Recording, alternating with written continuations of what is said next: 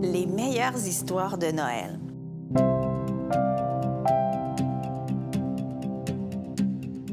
Il a un drôle de travail, papa.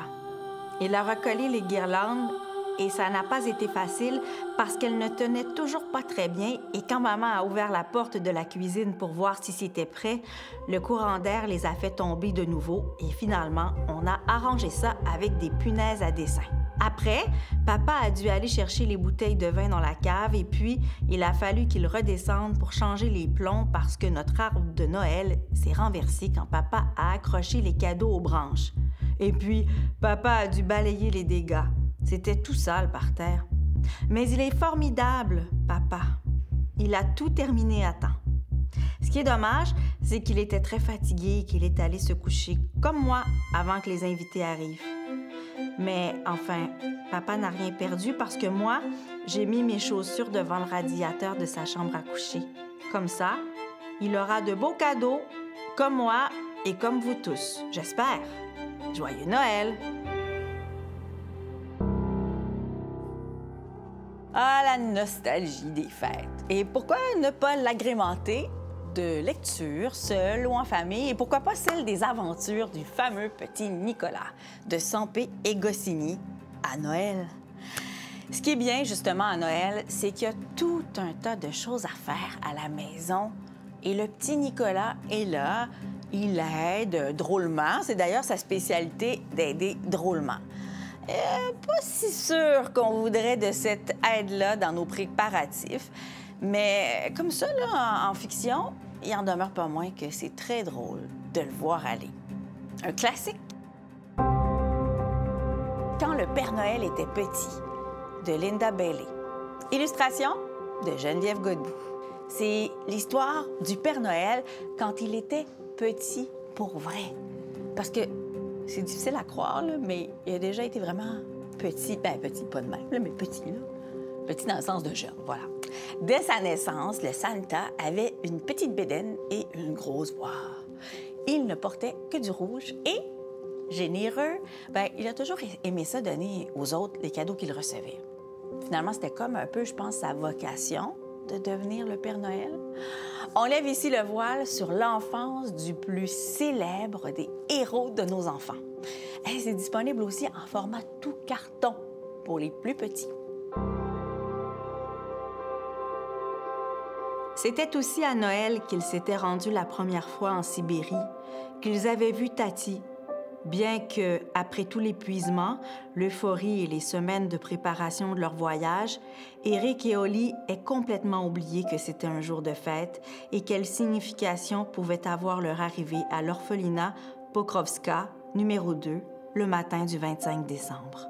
Mais il n'y avait aucun signe qu'on fêtait Noël ce jour-là à l'orphelinat, puisque pour les Russes, il restait encore 13 jours avant la célébration orthodoxe.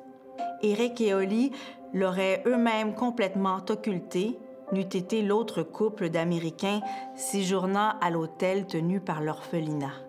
Ce couple avait apporté des cadeaux pour leur nouveau bébé, couvertures et chaussons enveloppés dans du papier vert et rouge, et des savons de luxe, des chocolats et des foulards en soie pour les infirmières. C'était, Holly le comprit, ce qu'ils auraient également dû prévoir, mais il était trop tard. Ils étaient à plus de 11 000 kilomètres des magasins Macy. Esprit d'hiver, Laura Kajishke. Laura Kajishke, elle est poète, nouvelliste, c'est une romancière américaine que j'adore. Et son roman Esprit d'hiver est sans contredit l'un des plus étranges, inquiétants et puissants aussi en même temps qu'il m'ait été donné de lire dans ma vie. L'histoire. On est le matin de Noël. Holly se réveille étrangement tard, plus qu'à son habitude en tout cas, puis elle se voit assaillie par un, sentiment d'angoisse, comme si rien n'était plus comme avant. Les invités se décommandent même pour le, le déjeuner traditionnel. Alors là, Holly pense que quelque chose les a suivis de la Russie 13 ans plus tôt, quand ils en sont revenus avec leur petite fille adoptée là-bas. Il y a un malaise subtil qui s'immisce et s'accroît pour exacerber la tension jusqu'à la révélation de la dernière page. Voyage dans les méandres de l'âme d'une mère entre amour, culpabilité et angoisse. Noël à Kingscroft de Mylène Gilbert Dumas.